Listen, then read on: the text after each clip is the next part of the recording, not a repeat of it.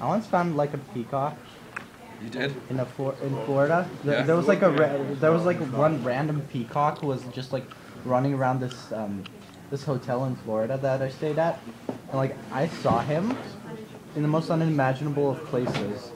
In a pool? Should I just No. open my door? There are like um sit, sit. I remember like about like ten thousand rooms there, Yeah. and all out of all of those ten thousand rooms, I saw it on the ledge of my um of my hotel. You know, you can go to the Franklin of my Park Zoo room. and just see Huh? peacocks all over the place, right? No, there was one peacock, just that one Yeah, I mean, peacock. that's like if you go to the Franklin Park Zoo, they're just all over the place. Oh, that's awesome.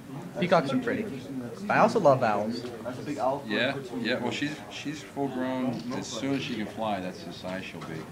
So, at two months, she was this size. Two months. Yeah, Yeah. yeah, they're massive. It doesn't. That's why I got the gloves on.